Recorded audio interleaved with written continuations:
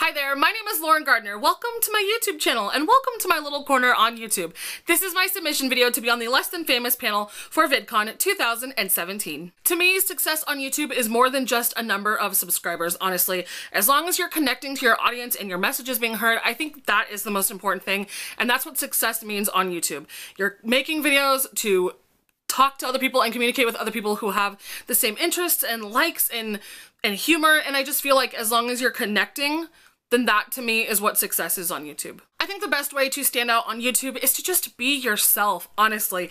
People are gonna know if you are fake or if you are putting on this front or or this really awful facade and they're gonna be able to know that that is not who you are as a person. If you are real with them, if you are honest with them, and you are just who you are, you have a personality, and you are unapologetically yourself. I think that in our generation, we're so drawn to connecting with people who we would see ourselves being friends with. So as long as you are yourself, I feel like that is honestly the most important thing to stand out on YouTube. I think the privileges of being a smaller creator on YouTube are a lot more than what I think most people would see it as. I feel like when you're a smaller creator, you can communicate to your audience more and you can hear them out. You can talk to them in the comments and they can give you constructive criticism and you kind of have a purpose for why you're making your videos is because you know who you're talking to.